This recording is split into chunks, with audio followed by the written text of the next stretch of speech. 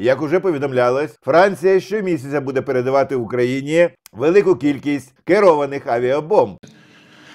Ну, в этом смысле, конечно, они добились своих целей. Ці французькі каби запускаються із радянських літаків, які є у збройних силах України. Бомба може нести фугасну боєголовку масою від 125 кілограмів до однієї тони, а дальність заявленої дії бомби понад 70 кілометрів. А тим часом Франція разом з Німеччиною очолить коаліцію протиповітряної оборони України. Паралельно Франція разом з Україною запускає коаліцію артилерія для України. Зокрема, в її рамках Україні будуть передаватись боєприпаси. Ну, Цезарь це непогана установка, хороша, високотехнологічна. Але е, з того, що я бачив ну, в реальному досвіді, от ми ж застосовували Богдани, зокрема в парі з Цезарями. У них є проблеми з е, кількістю стріл, тобто вони не розраховані на таку інтенсивність пострілів, е, як Богдана, на максимальних зарядах. Тобто, в чому унікальність Богдана? В тому, що унікальність ствол, от, який дозволяє на максимальних порохових зарядах, на максимальну дистанцію вести достатньо серйозну інтенсивність стрільби і кількість. І плюс у Богдани дуже хороший коефіцієнт бойового застосування, тому що вона зроблена тут, і відповідно її ремонтувати можна в Україні. І достатньо оперативно. І тому вона швидше приходить, ну повертається в стрій у разі якихось поламок, там, наприклад, е, або пригорання кілець, або щось такого. От. е, Але це це хороша установка. Просто знову ж таки ніхто не розраховував, що буде така інтенсивність взагалі застосування артилерійських засобів, тому вони просто не розраховані на таку кількість пострілів на максимальну дистанцію. Але вони високотехнологічні, і у них є великі плюси: це і АСУ, і можливість позиціонування гармати дуже швидке. Тобто в цьому плані вони хороші. Я про інше хотіла би запитати, Е, Мирославе. е, Зараз багато в соцмережах обговорюють. е, Відбулася перша зустріч у- Україна-НАТО, е, Ради Україна-НАТО на рівні командувачів Збройних сил України, але головнокомандувач Збройних сил України Валерій Залужний не брав у ній участі. В соцмережах багато конспірології з цього приводу. Офіційно було пояснено, що він брав участь на ставці.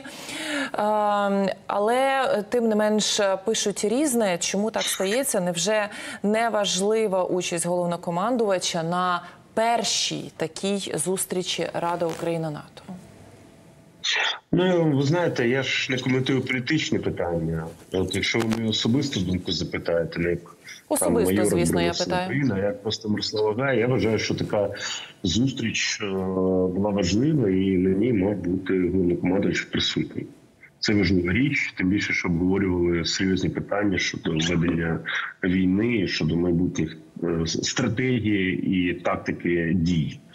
От, тому як він не поїхав, ну можливо, були більш серйозні виклики зараз в Україні, тому він не зміг. Але це дуже прикро. Президент не пустив. Я не знаю, розумію, не знаю цього. От, але на такі зустрічі головнокомандувач е, ну, має їздити. От, і я думаю, що він не поїхав не тому, що не бажав, а тому, що були якісь перепони всередині України. На Авдіївському напрямку окупанти знову почали активно використовувати бронетехніку. Пан Штупун про це повідомляє. От е, ну знаєте, Авдіївка в нас в полі зору знову ж таки до сих пір. Окупанти намагаються там ну, ці кліщі затиснути, якщо можна так висловитись. Але от активізація цієї бронетехніки, знову ж таки, відео днями ми бачили, ну, яке українські військові опублікували, де було знищено 6 одиниць фактично, Мирослава. Про що це свідчить? Ну, це свідчить про те, що ми Мирославе? Як тільки про фронт, одразу зникає зв'язок.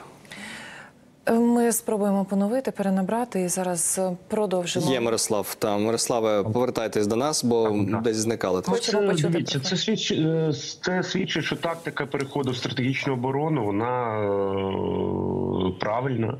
Це означає, що нам легше просто з укріплених позицій, якими є Авдіївка, яка укріплялася ще 2014 року. Нам е, зручно ну, робити.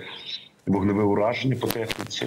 От зараз всі бригади е, освоїли дрони, безпілотну, безпілотні засоби. От навіть в умовах певного артилері... ну, голоду артилерійського е, щодо снарядів е, зараз дуже активно застосовується FPV. У нас з'явилися ефективні школи FPV, Причому я вам скажу, що не тільки школи волонтерські, не тільки державні, але й навіть на рівні бригад вже з'являються власні школи по безпілотній авіації, і по розвідці, по скидам, і по е, ударним дронам, як FPV.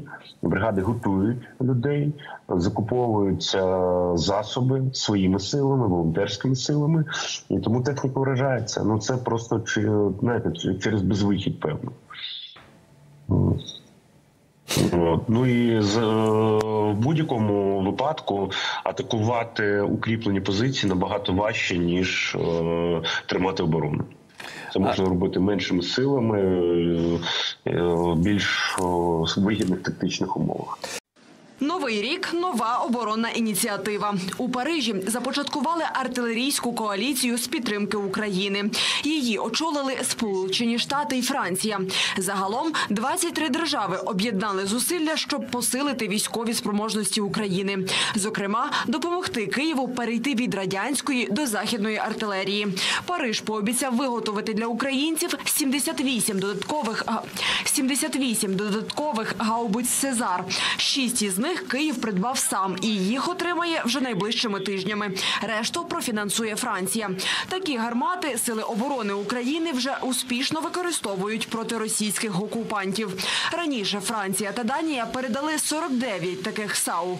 Вони з високою точністю вражають цілі на відстані до 40 кілометрів.